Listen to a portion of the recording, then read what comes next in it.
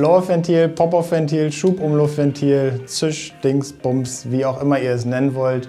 Ich möchte einmal erklären, was macht das Pop-Off-Ventil und wie baut man es am besten ein. Wir nennen es Blow-Off-Ventil und die Funktionsweise des Blow-Off-Ventils, also das Abblaseventil, wie es DeepL oder Google übersetzen würden, ähm, ist relativ simpel. Der Turbolader saugt Luft an, komprimiert diese und schiebt sie Richtung Motor. Diese Luft ist dann entsprechend die Ladeluft, die geht dann meistens noch durch den Ladeluftkühler und letztendlich in die Drosselklappe. Wenn die Drosselklappe offen steht, ist das alles super, der Turbolader dreht sich, alles wird in den Motor befördert, alles ist schön. In dem Moment, wo ich vom Gas runtergehe, um in den nächsten Gang zu schalten, um äh, auszurollen auf der Autobahn oder was auch immer, schließe ich die Drosselklappe und in dem Moment, wo die Drosselklappe schließt, schiebt der Turbolader weiter die Luft, aber gegen eine Wand. So. Logischerweise ziemlich blöd, weil es würde ein Staudruck entstehen, ein Überdruck, was auch immer. Und der Turbolader, der sich ja weiter dreht, weil weiterhin Abgase befördert werden, vielleicht nicht so schnell, aber er dreht sich weiter, würde dann ausgebremst werden. Die Folge davon ist Lagerschaden im Turbolader, ausgeschlagene Wellen etc. Früher bei älteren Fahrzeugen gab es keine Blow-Off-Ventile. Da war das häufig gang und gäbe, dass deswegen die Turbolader auch kaputt gegangen sind.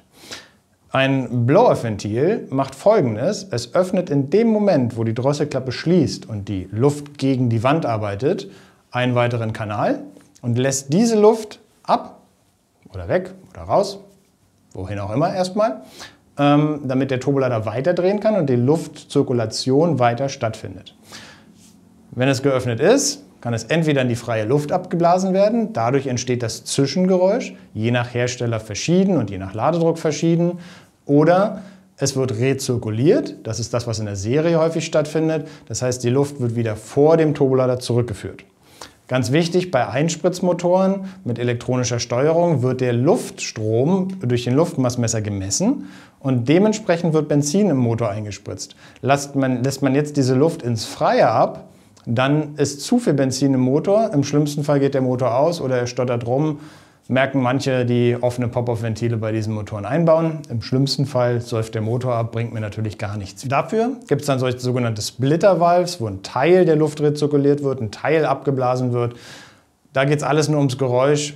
Ich persönlich, aus technischer Sicht, kann immer nur sagen, rezirkulieren, nicht ein Zischen nach draußen zu provozieren. Es bringt mir technisch keinen Vorteil und keine Leistung.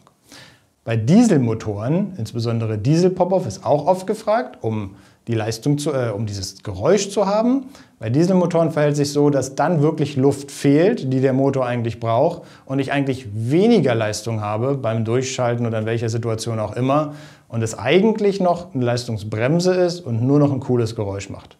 Also überlegt euch, wollt ihr ein cooles Geräusch oder wollt ihr, dass euer Motor Leistung bringt? In der Regel ist das Prinzip relativ einfach. Ich habe in einem Blow-Off-Ventil meistens einen Kolben. Der Kolben wird von dem Unterdruck, der in der Ansaugbrücke entsteht, in dem Moment, wo die Drosselklappe schließt, nach oben gezogen. Der Ladedruck drückt zusätzlich gegen den Kolben. Das Ganze öffnet sich und die Luft wird durch den Auslass uiuiui, abgelassen. Je nachdem, wie viel Ladedruck ich fahre, kann es dazu kommen, dass der Kolben sich von alleine aufdrückt, obwohl auf der Seite auch Ladedruck anliegt. Es liegt am kleineren Querschnitt, den ich hier in der Leitung habe. Und deswegen sind in den Blow-Off-Ventilen verschiedene Federn verbaut oder man kann sie mit verschiedenen Federn wählen. Also umso höher der Ladedruck, umso stärker muss diese Feder sein. Jetzt gibt es Situationen, dass der Ladedruck trotzdem noch zu stark ist und trotzdem das Blow-Off-Ventil aufdrückt. In dem Moment wechsle ich von der sogenannten Push-Mode, das heißt Ladedruck drückt hier rauf, in die sogenannte Pull-Mode, das heißt der Kolben wird aufgezogen, ohne dass hier Ladedruck drückt.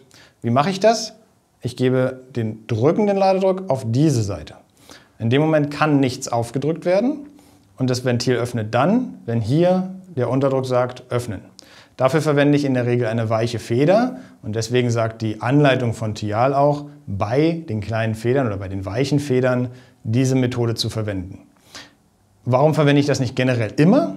Es ist einfach langsamer, der Öffnungsprozess ist langsamer. In dem Moment, wo ich den Push-Mode habe und hier drückt der Ladedruck gegen und hier sagt der Unterdruck bitte öffnen, ist das ein zusammenarbeitender Prozess und der Kolben bewegt sich wesentlich schneller in Richtung auf. In dem Moment, wo ich hier den Ladedruck habe und hier nur das Signal zum Ziehen habe, ist diese Seite sozusagen schwächer, um den Kolben zu ziehen. und öffnet dementsprechend langsamer. Bei hohen Ladedrücken ist es auf jeden Fall die richtige Variante. Und wenn man merkt, dass man mit viel Ladedruck fährt und man merkt, irgendwas stimmt nicht so richtig, das Blow-Ventil öffnet zu schnell etc., dann einfach mal die ganze Sache drehen, solange es der Hersteller anbietet. Einen genauen Wert, bei welchem Ladedruck ihr was wählen solltet oder ab welchem Ladedruck das notwendig ist, in diesem Pull-Mode zu arbeiten, kann ich euch leider nicht geben. Das sind meistens Erfahrungswerte.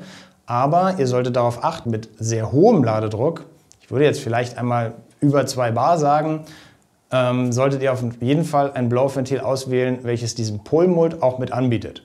Oder ihr arbeitet komplett mit einem öffnenden Ventil, dann braucht ihr aber auch die richtige Motorsteuerung dafür. Und wie immer, wenn ihr weiterführende Fragen habt, fragt unseren technischen Support oder kommentiert das Video, wenn euch das Video an sich weitergeholfen hat. Einmal den Daumen nach oben und ich würde mich freuen, wenn ihr auch unserem Kanal folgt.